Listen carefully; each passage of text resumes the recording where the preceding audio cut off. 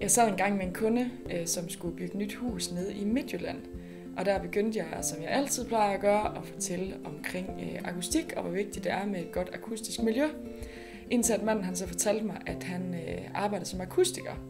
Så der lærte han mig om noget nyt, øh, og hvordan at der også er forskel alt efter, om du vælger den ene perforering i en gipsplade, øh, altså perforering betyder de huller, der er i gipsplader, som du sætter op i loftet, eller om du vælger den anden perforering i den her gipsplade.